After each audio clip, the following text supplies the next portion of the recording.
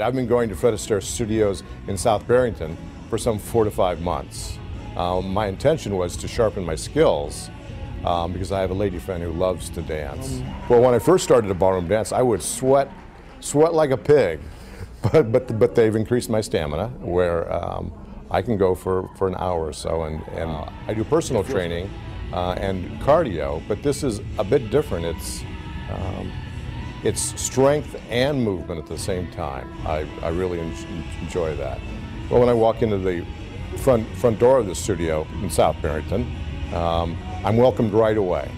The, um, the operations staff is very friendly, and I, I usually get a hug from everybody, both male and female. It's, it's very welcoming, fun. You can be assured uh, the instructors are gracious enough to follow your lead when you do it well and professional enough to cover it up or to correct you when you've done it wrong.